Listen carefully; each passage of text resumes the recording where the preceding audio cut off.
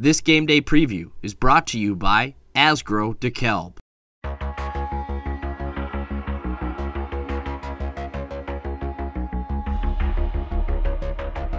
It's awesome being able to run over there, have all your fans surround you, and um, lift up that rock. Um, you know, it, it's an unbelievable feeling. On Saturday, North Dakota State will square off against South Dakota State for the 101st time. In all the meetings in this rivalry, one thing that has never changed is the physicality. A lot of hard hits. One of the most intense. Uh, just uh, this is a powerful game right here. For Bison seniors, they have won every marker game they've played in, a streak they want to continue this season. I mean, I'd say it's really important just to end on a good note there, just winning the rivalry.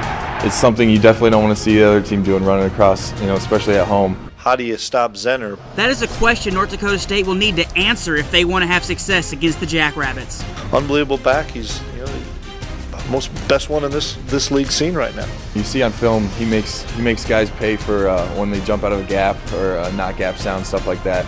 Um, you know, obviously he's a great player and he's going to get his yards. Senior Zach Zenner ranks first in Missouri Valley Conference history in rushing yards, but he has not seen much success versus North Dakota State.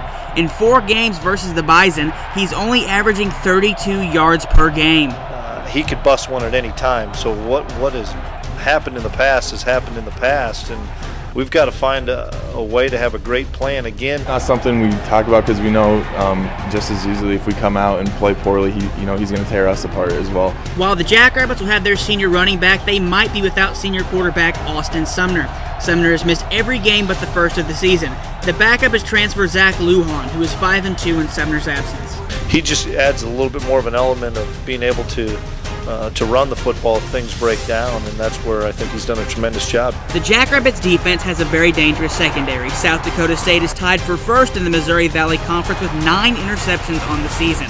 Another challenge for the Bison is the familiarity the Jackrabbits have with North Dakota State's offense. You know, they know us so well because they've been playing us for so long. You know, they're really tough, and their coaches know our coaches really well. The stat to watch is time of possession. Both the Bison and Jackrabbits are the top two FCS teams when it comes to keeping the football. I think it's big. Uh, it's something that um, we as defenders love here at NDSU is the fact that our, our offense grinds the ball and lets us um, lets us rest on the sideline. So I think, um, you know, hopefully we can hold the ball. Hopefully we can wear them out. South Dakota State will look to defeat the number one team in the nation for the second time in school history, the first coming against North Dakota State in 2007. Kickoff is scheduled for 2.30 p.m. Central Time and can be seen on NBC North Dakota and ESPN Game Plan. For GoBison.com, I'm Brett Rory.